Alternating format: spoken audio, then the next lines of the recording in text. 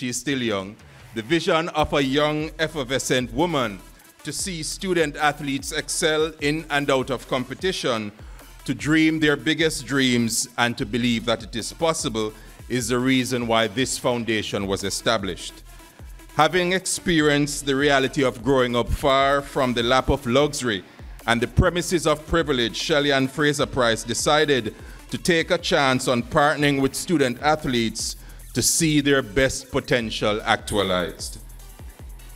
The remarks of Dr. Jermaine McAlpin there, the Executive Director of the Pocket Rocket Foundation, speaking at the recently held Scholarship Awards recognizing the 11 recipients of this year's PRF scholarships across various sporting disciplines.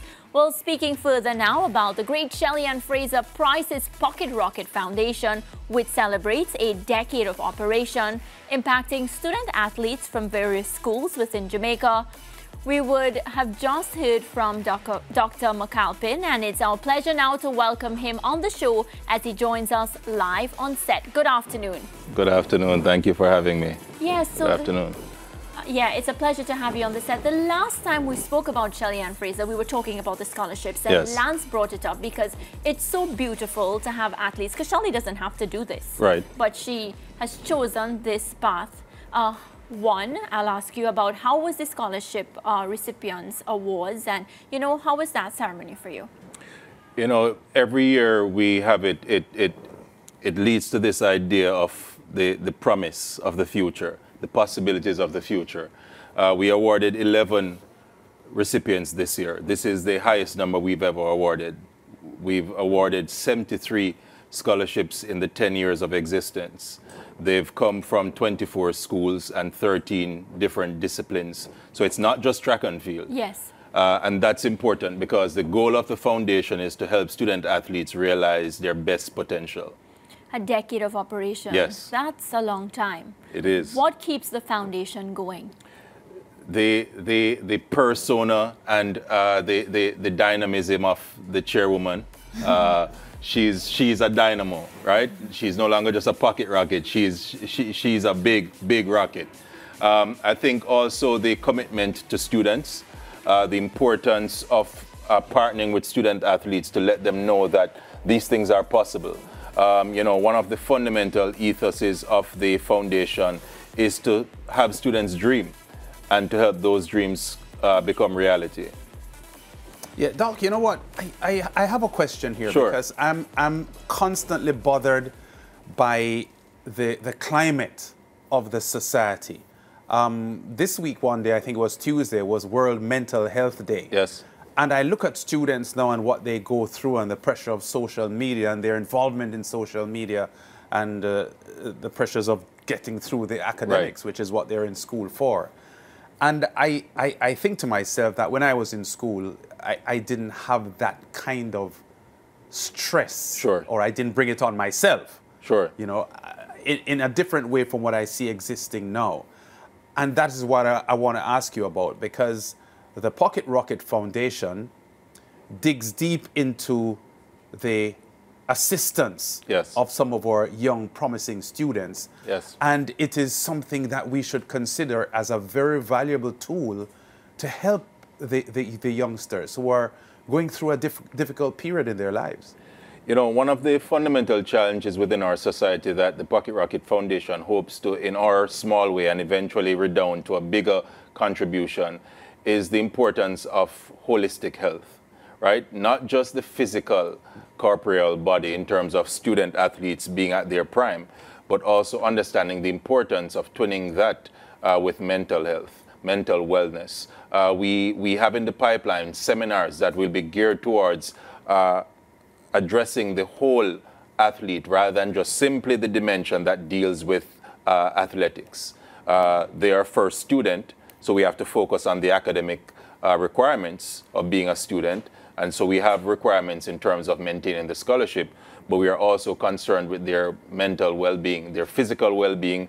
Part of the scholarship is to provide resources so that they can uh, eat. One of the one of the core values of the foundation is meeting the basic needs of everyone who is a scholarship recipient.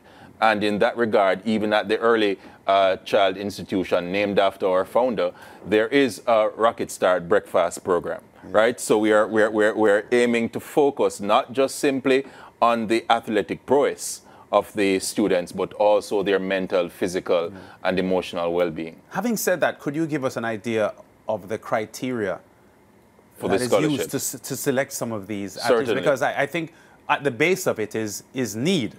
You know, some that are most needy of, of the help. Well, but, it's, but is, is it's part that's not it meritocratic, yes. right? It's part meritocratic because students apply, Yes. and every year we get upwards of 60 or 70 applications. Wow. They are drawn not just from corporate area schools because we make it very deliberate that it's not just simply a tone phenomenon, right? Uh, this year's recipients come from uh, Knox College, Holmwood Technical, Wolmer's uh, Boys and Girls, right? Jamaica College, Campion College, Excelsior High, right? The minimum criteria, uh, you must maintain a 65% a- average. You must obviously be participating in a sporting discipline, and uh, you obviously need to uh, remain registered in high school.